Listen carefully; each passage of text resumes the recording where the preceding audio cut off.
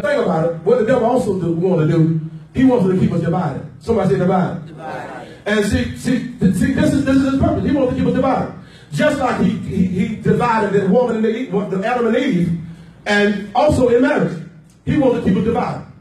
Also, as leaders or in the household of faith, he wants to keep us divided. And how do we keep us divided? By a smell. And what is the smell?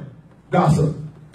What does it smell? Silence. That's right. That's right. What does it smell? Complaining. That's right. Somebody say amen. Amen. For complaining is the very thing that caused the children of Israel to be cut off in the wilderness. That's right. That's right. As a matter of fact, complaining coupled with frustration was the very thing that caused Moses not to go into his promised land. Hitting the rock. That's right. Somebody say promised land.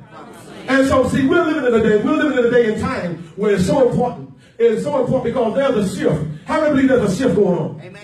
And see, one of the definitions of a shift is a turn. Also, it means to accelerate. In other words, God is taking you from one place to the next. Yes, yes, yes. Also, in acceleration, it also means reposition. That's right. That also means that God is bringing us back in order. Somebody say order. And this is what God is doing. God is restoring us. And how does God restore us? Through obedience. That's why we must listen, and that's why we must be obedient to His word.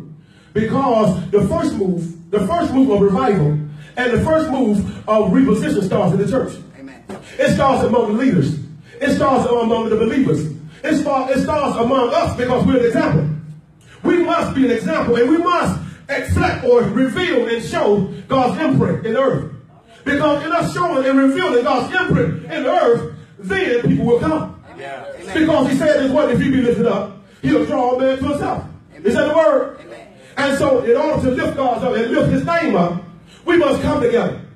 In order to lift his name up, we must come together and put aside everything. And realize and understand that we, we together we're strong, but divided we're weak. Amen. That's why the Bible says that one can chase a thousand, but two can put ten thousand to flight. Somebody say amen. Amen. Come on, Bishop. Come on, Bishop.